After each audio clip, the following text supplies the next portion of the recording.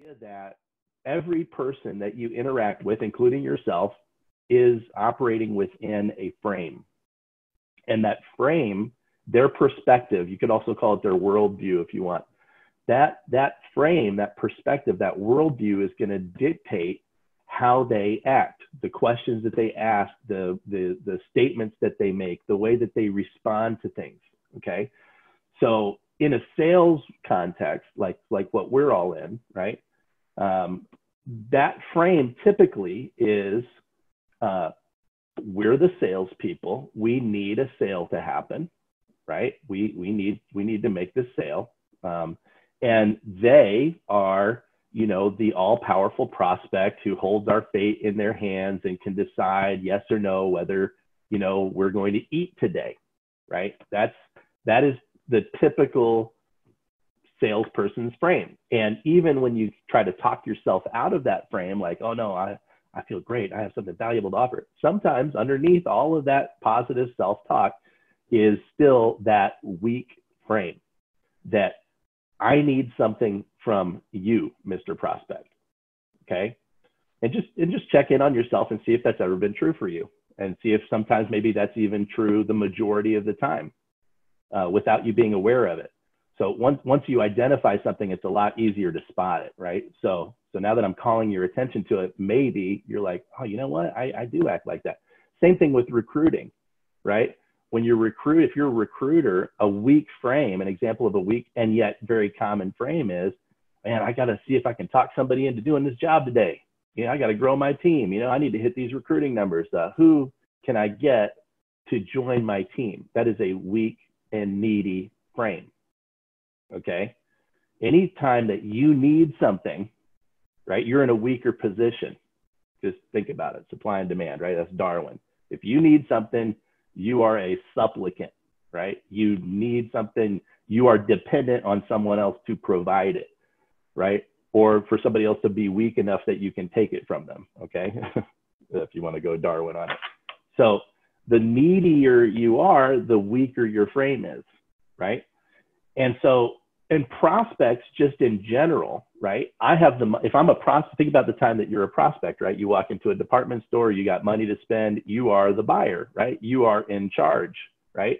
Um, I'm going to buy what I want. Nobody's going to sell me anything, da da da. You know, somebody, I, I, mean, I walked into a department store the other day and was like, I, I knew exactly what I needed to go get and I didn't know where it was. And, and this guy came up to me and the, uh, a salesperson was like, Hey, sir, can I help you? And I was like, Nope, just looking, right? Even though I, I, yeah, I did need help, you know, and then I, I actually caught myself and was like, oh, you know, I actually come back here. I actually do need, this is what I need and, and I need to get out of here. And they're like, okay, follow me. Right. But we're so programmed as prospects, as buyers to reject salespeople, right? That, and that's just hard coded in. That's the frame that culturally we inherit. Okay. And so, and, and we all know that right? And so when when you're as a salesperson when you're approaching someone you're giving a presentation you just automatically your default is you know that the outcome of this thing is dependent on them okay? And it puts you in a weaker frame puts all of us in a weaker frame right? So the the rule number one about frames is that the strongest frame always wins the strongest frame always wins. So how can you, thinking about back to my Indonesia example, how can you flip the frame around to where you have the strongest frame legitimately? Right? How can you flip the frame around? So, it, in I'll, I'll speak on two levels. So, one just generally about insurance, and then the second level specifically about the time that we're in right now. Okay. So, generally about insurance, okay, what, what is the hardest thing about obtaining insurance coverage? Um, so if you think about it, right, have you ever been in a situation where you needed insurance and it was hard to get? You know, maybe maybe you had a maybe you had a, a few too traffic too many traffic tickets on your record and you went to Allstate and they and they said no no we're not covering you bro right I've been there that's why I'll never do business with Allstate again jerks uh, but uh, I've been there, and then I had to go down to uh, you know uh, what was the name of that guy? It was in Houston. Dan, you know him. Uh, it's the Ed Lawyer. Frank- yeah, that's it. Yeah, I went down there, went down there, and got me some insurance, man, some other carrier. So the hardest thing about obtaining insurance is getting the insurance company to give it to you. That's a fact, right? I mean, there's there's there's there's two worlds of insurance, right? There's the there's the need to have world, which which we could we call the property casualty world, right? Like I can't drive a car without it, right? I can't open my business without without it. I have to obtain it, right? And so as a result, that property casualty side of the business, generically speaking, like the prospect's in a much weaker frame, you know, because uh, they have to obtain it. Now, on the good news, that uh, they don't care where they obtain it from, so they can gain some of their power back because they can shop it around, right? On our side of the business, life and health side of the business is a nice to have. It's a nice to have, not a need to have. You're not breaking any laws by not having a cancer policy, right? It's a nice to have, right? So as a result, we have to think about how can I make my frame so strong, right, that the prospect falls into it, falls into my frame, right? And so, and part of that is just by is by knowing you knowing that insurance companies have all of the power in terms of whether this person gets insurance or not. Okay? It's not up to them whether they get that insurance. And it's not up to you whether they get that insurance. In fact, who it's up to is some underwriters, right, in an office far, far away that are going to look over their paperwork and make a decision, you know? And now it's even, I mean, it's not better. It's actually worse, uh, empirically worse, but it's better for us because used to be I could call up underwriting when it was just family heritage and go, hey, you know, uh, here's the situation. Now I can't even call that. They don't even have a phone number. I got to use an email address, right, to talk to underwriting.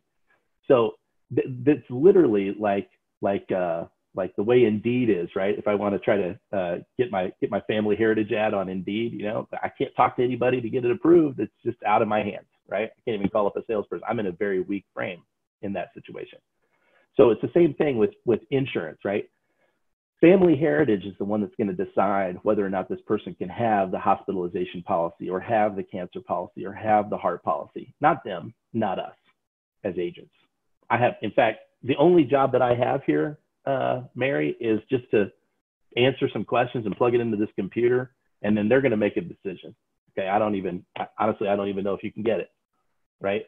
And one of the things about, you know, and I got to tell you, Mary, um, one of the things that I love about my job is just how awesome the products are. Okay, I mean they're awesome. You know that I've already showed them to you. One of the things that I really don't like about my job is that Family Heritage doesn't take just everybody. They're not Blue Cross. They don't have to give a policy to everybody who comes and knocks on the door, you know. But the good news is if you want a cancer policy, I can probably we can probably get you one, right? You can get one from Aflac or Colonial or Combined. There's a bunch of different companies that sell you a cancer policy. Okay. Unfortunately, Family Heritage, because our policies are unlimited, because they come with no price increases ever because they're guaranteed renewable for life. So once they take you on, they can never get rid of you ever. And because they're going to give you 100% of your money back, obviously, they can't just offer that program to everyone, right? They got to be careful about who they take in, or it would be astronomically expensive. Does that make sense? Awesome. So let me just ask you a couple of questions real quick just to see if there's any reason for us to keep talking because I don't want to waste your time. Think about how many times somebody's told you, "Oh, I don't want to waste your time," you know, and, and oh, okay, well, uh, I appreciate that, man. It won't be a waste of your time, though. I promise. Like it'll be really worth you looking at it. See, that's a that's a that's an example of a strong frame from the prospect and a weak frame from the salesperson, right? So imagine being able to use that phrase yourself.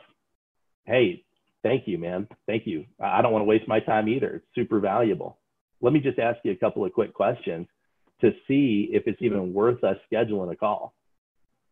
The last thing I want to do is schedule a call and then you know you not even be able to get the coverage. I mean that would be silly, right? So okay, let me ask you. I, I know two questions off the top of my head. The rest of it the computer's going to do, right? I mean I'm not. I don't even know what the computer does in the background, but you know I can ask you a couple questions to see if I can even hit the submit button, you know, and then we'll let the computer do the work. Okay. So I don't know if that's helpful, but like that idea of it's not up to me, man. Like the decision maker. Think about that, right? Think about like as a prospect, and you've been in these situations, right, where the the you sit down with the wife, and the wife tells you, "I can make the decisions. I do everything. I got the checkbook right here, man. You know, I'm the one." And then you get to the end, and she goes, "Oh man, I really need to talk to my husband." And you're like, "Man, you just told me you could do all this yourself, right?" well, that's a decision maker. She and she knows she's, she's smart. She, oh, if the decision maker's not here, there's nothing we can do, right? So that you can use that. Okay, you take that and put it in your frame. Hey, I'm not the decision maker. You're not the decision maker. You know, I mean, we don't even know if there's anything to decide about until we put your information in this computer here and see what the company says, right? And if if they say you can have it, well, now you have a decision to make. Do you want to keep it, right? That that makes sense, you know. But I mean, why would you want to think about something you can't even think about? That makes no sense, you know. Let's see if you qualify for it first and then you know uh, you can decide what you want to do with it you know once they're listen john uh, just off the record here man um, you know I, i'm an insurance agent okay i could sell for anybody i don't work for this company i work for myself okay um, I don't know what kind of health issues you got going on, and I'm not going to sit here and ask you a bunch of questions. Okay, I'm not going to ask you what prescriptions you're taking and when the last time you smoked a joint is. And I'm not going to do any of that because I don't care. Okay, um, if they're if they're silly enough to take you into this policy, right, then you have something to think about. Okay. Um, but before that, I mean, you're just kind of wasting your time. You know, it's like, it's like, John, you ever go, you, you ever go look at a house, you know, with a realtor without your wife, right? And, uh, and, and, and just fall in love with it. You know, have you ever done that? No, you've never done that, right? But has your wife done that? You bet, right? And when she comes back to you and says, Hey, I found this house. That's our next house we're moving into. And you're looking at it going, Man, we can't afford that. Right. It's like, why look at something that you know you're going to fall in love with if you don't even know you can have it yet? Okay. That's, that's strong frame. That's taking the frame back to yourself. Okay. So um, another example of this too, and I know I'm running short on time, but another example of this is also like like skepticism. So people that are skeptical, right? Just remember, like people that are skeptical, um, the most skeptical person wins always. Okay, so you know, you you walk up to somebody and they're skeptical, right? All you have to do is be more skeptical than they are, and you win. Okay, it's just the same example of of, of strong frame, right? Well, I never heard of this company. That's okay. They never heard of you. How do they know you can even pay your bills on time? I'm not. I'm just kidding. Of course, you pay your bills on time. You know, this company's AAA rated. Blah blah blah blah blah. I mean, what else do you need to know? Warren Buffett invests in um, those kind of things. Who invests in you? No, I'm just kidding. I don't need to know that. Here, let me just ask you a couple of health questions, okay? so, all right. Anyway, uh, I could go on and on. It's like my favorite topic, but um, I'll open it up for questions because sometimes I think the better uh, uh, you get some better stuff in a back and forth. So, Danny, back to you, bud. Eric, uh, Brian wants to know uh, when when is it that you get that you make the transition to uh, letting them know that they're eligible for the coverage? How do you let them know that if you're telling them that they're just being applied for right now? You don't. You don't. That's not your job. Okay. So back in the old days, Brian, um, we used to use these paper things, and you would fill out the paper, and then you would uh, you would mail it into the company. It's crazy, I know, but like this is literally what we had to do. And on the top of that piece of paper, it said it, the paper was called something. It had a it had a legal name at the top. It was called an application. Okay, and it's just like I'm not I'm not being facetious. It's an application. It's not an enrollment form. It's an application form. Okay, so just like there's a big difference between applying to go to Harvard and enrolling in Harvard, right? Applying to go to Harvard costs you 150 bucks. Enrolling in Harvard costs you 150,000. It's a big difference, right? So all we're doing is applying for coverage. Okay. There's no screen on your computer when you press the submit button. There's no screen that comes up and goes, congratulations, your client has coverage. Does it? All it says is, congratulations, your application has been submitted. Okay. If, and what does it say? It says, if accepted, their first draft will be after you hit the submit button, right? If accepted, but you, they never tell you that, okay? The first time that you as the agent, and by the way, you're the you're going to be the first one that knows because you're the agent. So if you're signed up for text uh, text uh, the first thing you're going to get is a text on your phone and it's going to say, hey, this policy was issued. That's when you text your client and you let them know. Um, I didn't, but I'm going to go. I just, uh, um, so that's when you tell them. So, so what I tell them at the end is I say, okay, great. Um, uh, Chelsea, it looks like it looks like we've submitted your application. It looks like the company's taken it, so that's great. So you got past hurdle number one, which is these health questions. Okay, now uh, they may I don't know uh, what they do, what their underwriting process looks like. They may pull your medical records, they may pull your MIB, they may you know call a doctor. I don't know, but at some point it's going to go through underwriting, and they're going to make a decision of you know yes, Chelsea, either you have the coverage or no, Chelsea, you don't. Okay. The nice thing I do like about this company is it's a hundred percent decision Okay, it's kind of like passing your driver's exam, right? You're not, you didn't 70% get it. You know, you're either a driver or you're not a driver. And it's the same thing. You're either covered or you're not covered. And I'm going to know that either later this afternoon or tomorrow, hopefully, barring any complications. Okay. When I find out, what's the best number for me to text you and let you know? Awesome. Eric, I got a second question for you. That's now. great.